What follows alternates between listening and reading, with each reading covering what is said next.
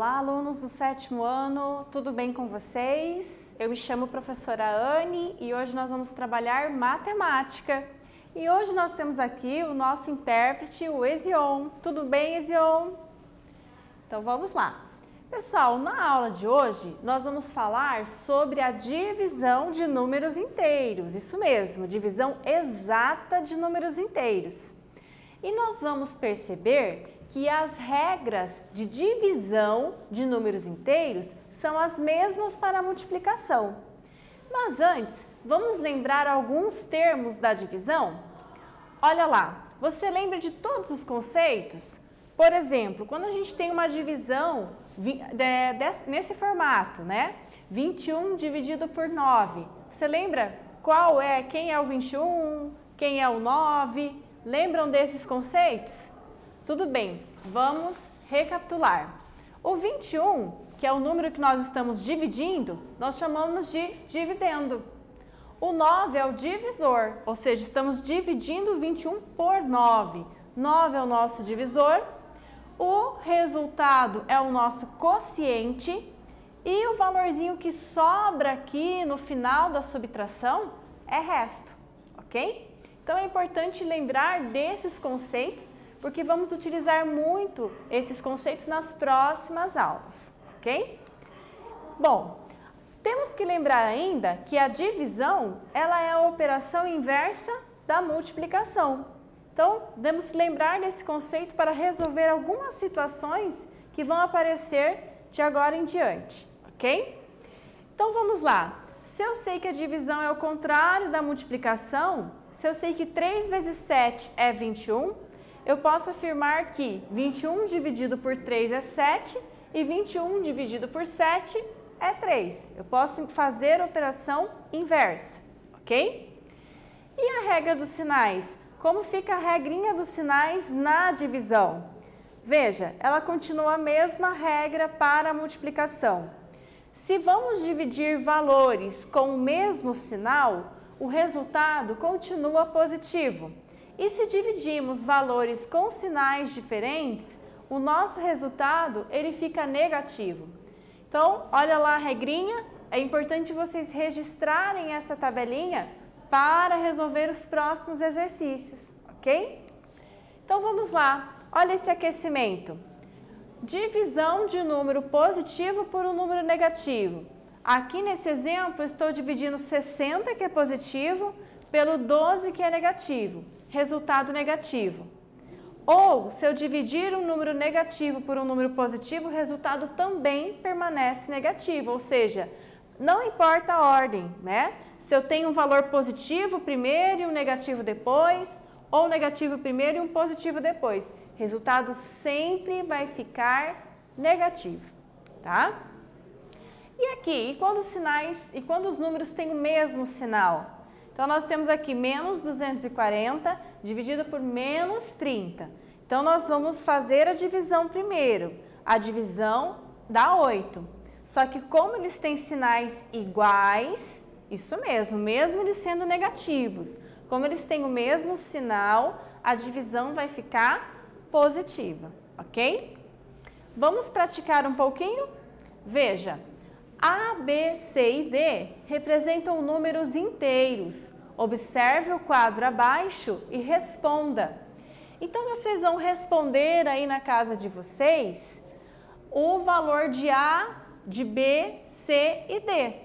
Ok. Vamos lá, ó, 40 dividido por 10. Você vai pensar um pouquinho aí na sua casa e vai descobrir qual é o valor da divisão. Aqui na segunda situação, vocês vão pensar qual é o valor que dividido por mais 5 nos dá menos 3.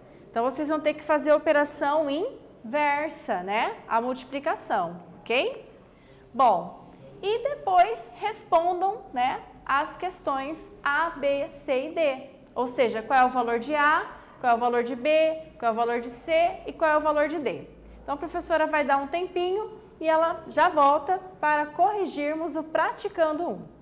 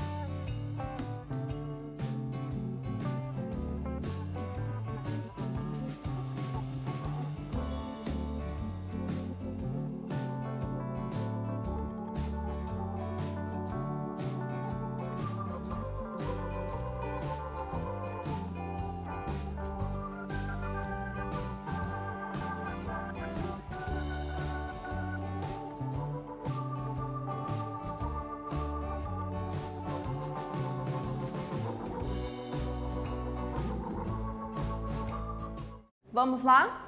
Então, para a gente encontrar o valor de A, é simples. É só dividirmos o valor de mais 40 por menos 10, que dá menos 4.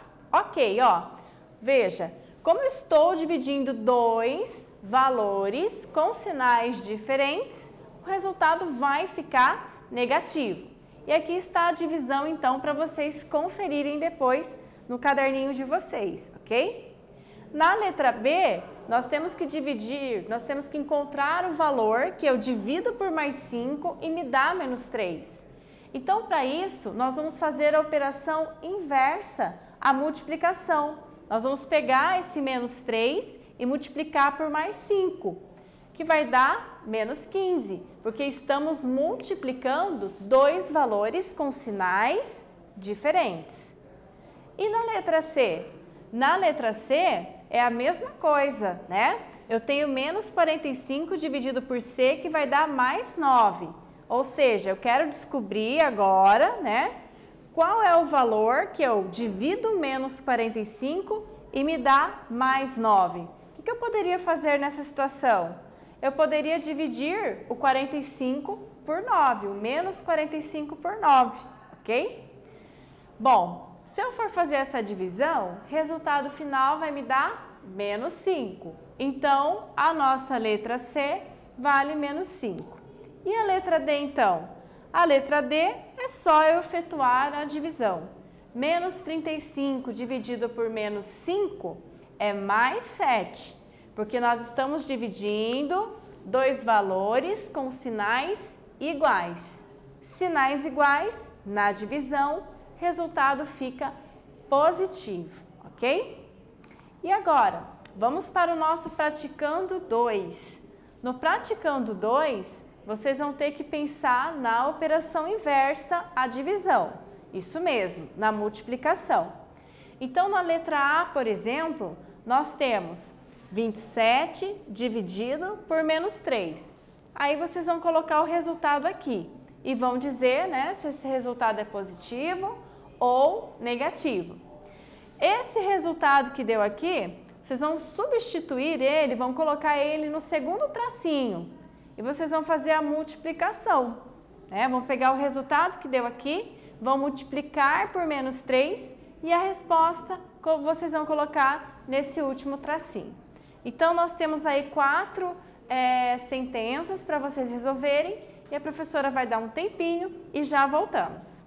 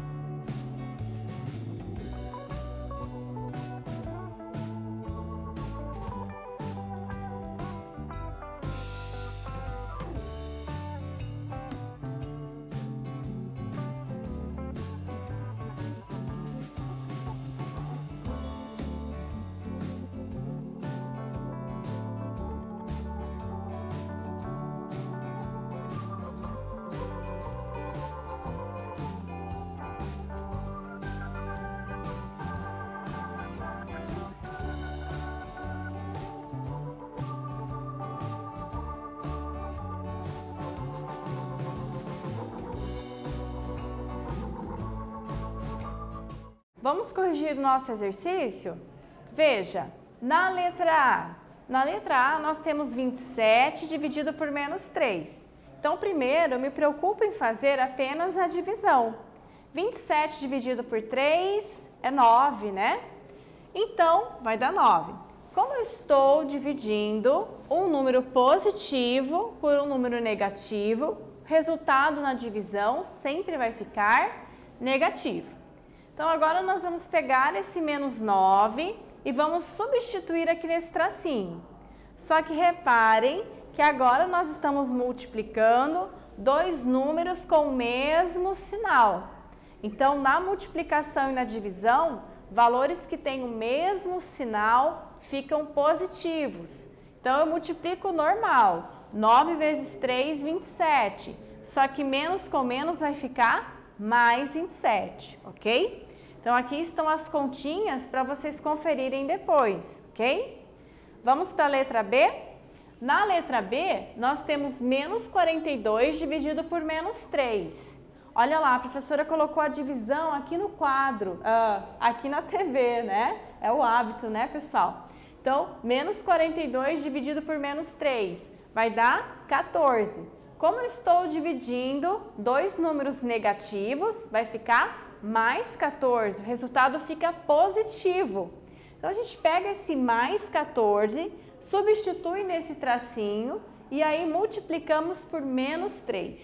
Então, primeiro eu foco na multiplicação.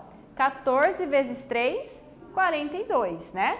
Veja, a gente tá, nós estamos fazendo a operação inversa. Então, tem que dar o menos 42. Como estamos multiplicando um valor positivo por um valor negativo, resultado vai ficar negativo.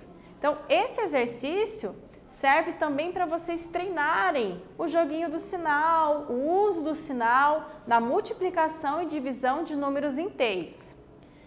Na letra C, nós temos menos 64 dividido por 8.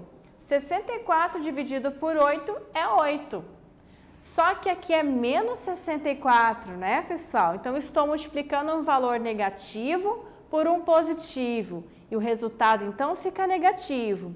Pego esse menos 8 e substituo aqui, ó. Menos 8 vezes 8. 8 vezes 8, 64. Menos com mais é menos 64, ok? Olha lá, a professora colocou até um lembrete aqui. Interessante vocês registrarem aí também multiplicação e divisão de números com sinais diferentes, o resultado fica negativo. E por último, a nossa letra D. Olha lá, 75 positivo, né? Como ele não tem nenhum sinal na frente dele, ele é positivo. 75 dividido por 5 positivo também, que vai dar 25, é, perdão, que vai dar 15, tá? 75 dividido por 5, 15. Então, a gente vai pegar esse mais 15 e vai substituir aqui. 15 vezes 5, 75. Como todo mundo é positivo nessa continha, os resultados também serão positivos, ok? Terão o mesmo sinal. Vamos para o praticando 3? Vamos lá. No praticando 3, você vai ter que descobrir como é que a gente vai resolver esse esqueminha. Então ele fala assim: complete os esquemas abaixo. Então eu tenho menos 100 dividido por 2. Então vocês vão pegar essa resposta e vão colocar aqui nesse segundo quadrinho. O valor desse segundo quadrinho vocês vão dividir novamente por 2 e vão preencher o terceiro quadrinho. Então a professora vai dar um tempinho para vocês resolverem esse exercício, ok? Lembrem-se, façam a divisão, mas lembrem de fazer a regra dos sinais, ok? Já voltamos!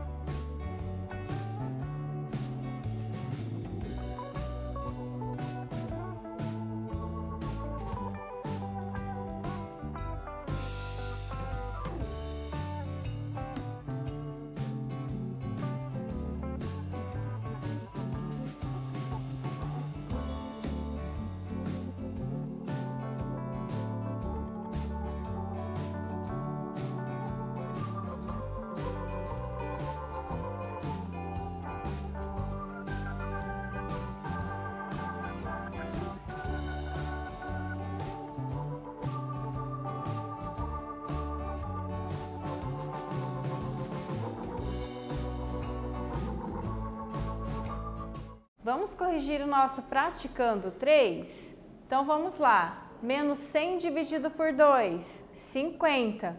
Como eu estou dividindo um número negativo por um número positivo, menos 50. Agora, nós vamos pegar esse menos 50 e vamos dividir por 2. Menos 50 dividido por 2 vai dar menos 25, né? Já que estamos dividindo um número negativo por um número positivo. Pessoal, não tem segredo, né? Nós vamos fazer a divisão normal. O que importa aqui, agora, além de fazer a divisão como nós sempre fizemos, é lembrar a regra dos sinais, ok? Bom, então na aula de hoje nós falamos sobre divisões exatas. Todas as divisões que trabalhamos até o momento são exatas. Só levamos em consideração a regra do sinal, já que estamos trabalhando com os números inteiros, ok? Bom, espero que vocês tenham gostado dessa aula e eu espero vocês na próxima aula. Até breve!